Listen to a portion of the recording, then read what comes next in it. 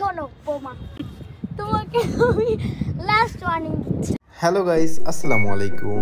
কক্সবাজার দ্বিতীয় দিন ইনানি বিচের দিকে যাওয়ার পথেই হঠাৎ করে কাজলের সাথে দেখা। তো গাইস এই যে আমরা চলে এসেছি নাদিম ওই পি- একটা মেয়ে দেখবেন ভাইরাল হয়েছিল।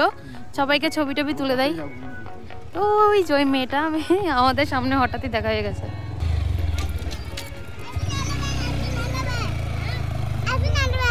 হুম তো তুমি জানো? তুমি আইফোন চিনো?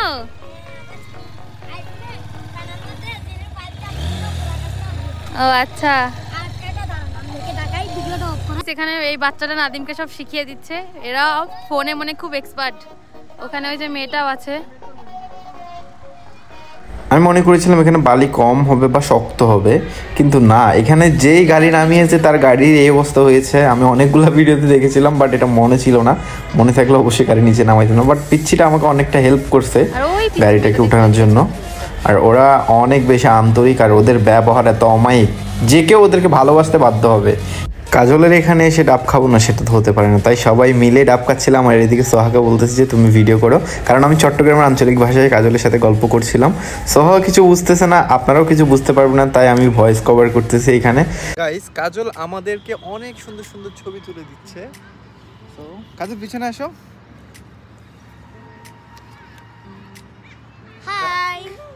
কাজল কিন্তু অনেক সুন্দর সুন্দর ছবি তুলেছে অবশ্যই আপনাদেরকে দেখাবো একটু পরে দেখতে পাবেন। কি দোলনায় উঠলাম মনে হচ্ছে নিচে পড়ে যাব। গাইস কাজলের তুলে দেওয়া এই ছবিগুলো কিন্তু অনেক প্রশংসনীয়।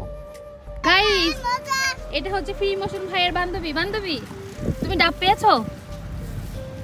আরও ওই তুমি ফ্রি মোশন ভাইয়ের বান্ধবী? হ্যাঁ বলো স্টাইল নিয়ে বলো তখন এভাবে বলছিল দাঁড়াও। এভাবে বলো। দাঁড়াই মানে তো গাইস আমাদের সাথে কাজলও যাচ্ছে। বলো ব্লগে বলে দাও। গাইস বাই কাজলকে আমাদের সাথে নিয়ে যাচ্ছি। কক্সেস বাজারে আসলে আর কাজলকে কেউ পাবেন না। হ্যাঁ ওকে তুলে নিয়ে যাচ্ছি। আসো আসো, আসো। বাই বাই আর দেখা হবে না। চলে যাচ্ছি ঢাকায়।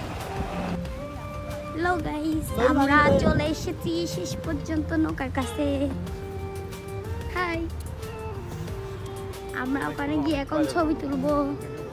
তো দেখতে পাচ্ছেন ওখানে দেখেন কি সুন্দর করে সাজাইছে গেট ওখান থেকে গেলে টাকা নেবে আর কি। কাজল আমার সাথে চলে যাব আমাদের বাড়ি নিয়ে গেলে? হ্যাঁ। হ্যাঁ। এই নৌকাগুলো নিয়ে সোহার ছবি তোলার জন্য অনেক বেশি ইচ্ছা ছিল তাই এই ইচ্ছা পূরণ করার জন্য সোহাকে এখানে নিয়ে আসা আর তার শোভাতে কিন্তু কাজলের সাথে দেখা হয়ে গেল। ঠিক আছে তোমার বোন হারিয়ে গেছে। তুমি এরকম একটা পিছনে অ্যাক্টিং করো তো। না তোমার তোমার ছেলে তোমাকে না বলে বিয়ে করছে এখন তুমি কি করবা? হাসি তুমি কিছু না। হাসিও। ঠিক আছে রেডি আমার ছেলেটাকে কত আদর করে বড় করছি।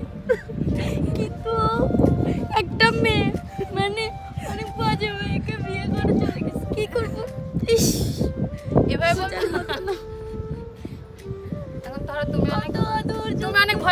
শাশুড়ি তোমার বৌমা তোমার জন্য পানি আনতে দেরি করেছে কি করব? এটা তোমার বৌমা।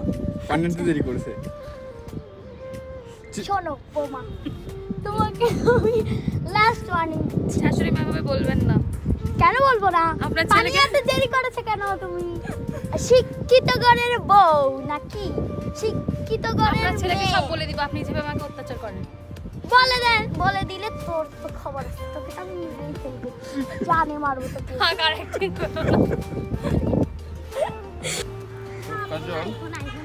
তোমাদের কাছে ডাব খাইছি প্লাস হচ্ছে তোমাদের বিল কত হয়েছে? কয়টা ডাব কয়টা? ছয়টা। ছয় নং কত হয়? ছয় নং কত? আগে সেটা বলো। ছয় নং কত? মানে? ছয় আর নয় গুণ করলে কত হয়? ছয় আর নয়। নয়ের ঘায় নামতে উঠতে হবে। শর্টকাট হিসাব বুঝাচ্ছি। ছয় নং চুয়ান্ন হিসাব করলে তাহলে কত হয়? চুয়ান্ন পাঁচশো চল্লিশ টাকা। রাইট নব্বই টাকা পাঁচশো সো এখন তোমাকে উপহার এটা পুরাটা তোমার ডাবের টাকা দিয়ে দিবা তোমার আব্বুকে। বাকিটা তুমি রাখবা খুশি? পাঁচশো চল্লিশ টাকা তোমার আব্বুকে দিবা আর বাকি তোমার পিচ্ছি পিচ্ছি গুলো নিয়ে তুমি চকলেট খাবা।